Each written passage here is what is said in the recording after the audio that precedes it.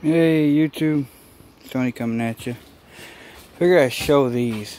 I think these are pretty cool. I just found them today. Um, kind of a barn find here. That's the name of them. They're called Chargers or something like that. They work on a 24 volt system. Um, this one's kind of rough. Really rough. But I was thinking about maybe doing a, uh, Predator engine on it. On this one anyways. Um, I guess they're out of California.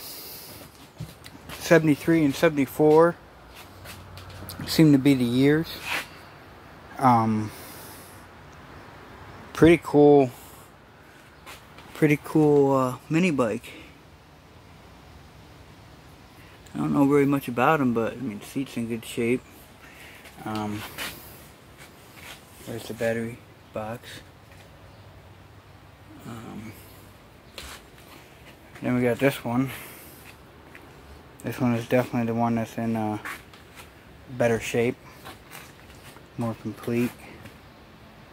This one I'm going to try putting uh, some new batteries in it and see if I can get it to uh, work. Or maybe between one this motor or that motor. One of them will work. I'm hoping.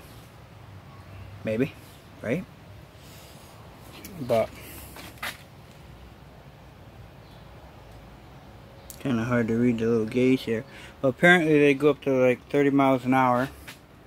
And uh, could do like a 50 mile an hour stretch with them. That's all I know about them. But I know if I can't get them to work. But I mean this one, everything. Uh, maybe the button's a little stiff here on the start, but the brakes are the brakes are good. Brakes ain't seats on this one actually work. But we'll see. Alright folks, until next time. Stony out.